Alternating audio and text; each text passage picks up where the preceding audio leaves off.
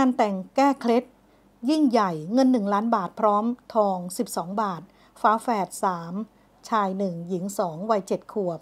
ความเชื่อโบราณ โดยมีแฝด 3 หญิง วัย 9 ขวบร่วมยินดี เมื่อเวลา 7 นาฬิกาที่บ้านเลขที่ 10 หมู่ที่ 5 ตำบลหนองแหนอำเภอพนมสารคามจังหวัดฉะเชิงเซาชาวบ้านได้เดินทางมาร่วมงานแต่งงานของคู่แฝดสาม ชายหนึ่งหญิงสองระหว่างเด็กชาย ธนาทิพย์ไตรรัตน์อภิวันพี่ชายวัยเจ็ดขวบ เด็กหญิงนัทสินีไตรรัตน์อภิวันและเด็กหญิงนัทนันไตรรัตน์อภิวันน้องสาววัยเจ็ดขวบ ซึ่งทั้งสามคนนั้นเป็นลูกฝาแฝดชายหญิง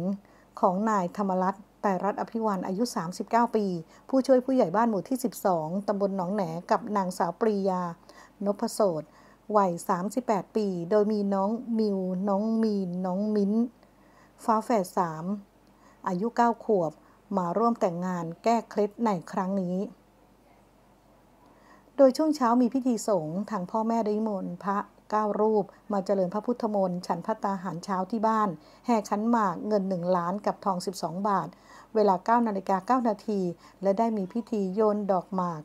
เป็นประเพณีโบราณ เพื่อความเป็นสิริมงคลและความเจริญรุ่งเรือง แก่บ่าวสาวจากนั้นได้ทำพิธีรดน้ำสัง ท่ามกลางเพื่อนฝูงญาติพี่น้อง ของพ่อแม่ปู่ย่าตายาย พร้อมร่วมรับประทานอาหารที่เจ้าภาพจัดไว้ให้ ท่ามกลางความน่ารักของแฝดทั้งสามค่ะ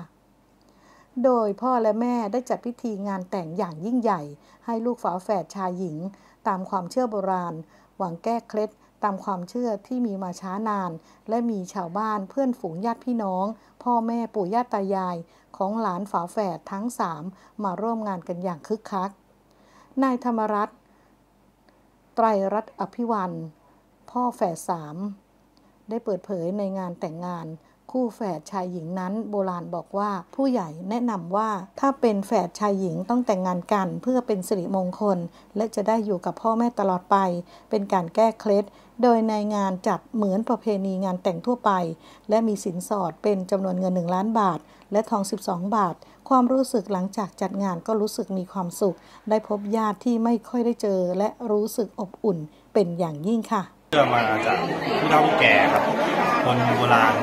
คนโบราณแนะแนะนำมาว่าถ้าเป็นแฝดชายหญิง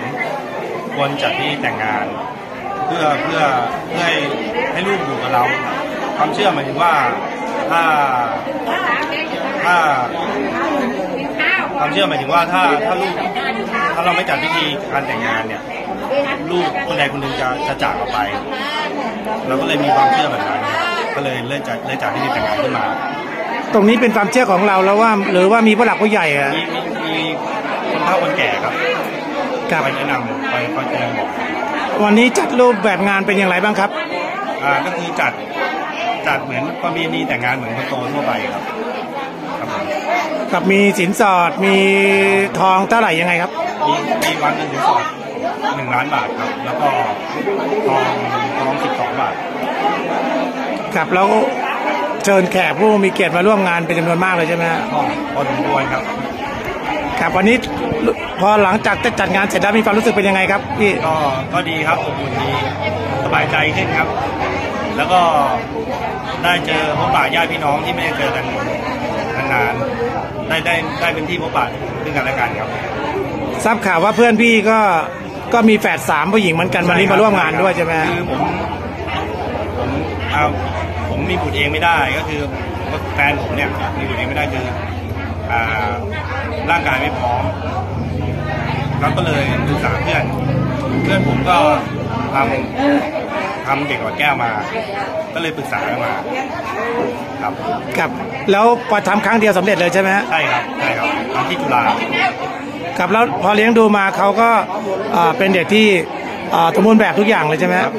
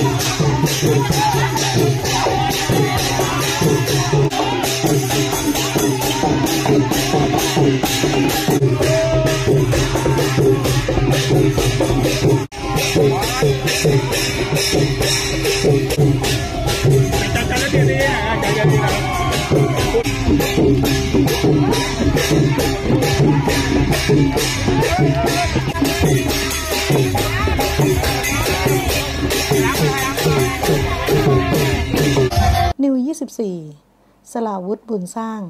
ภาพข่าว สุกันวลีสุวรรณรายงาน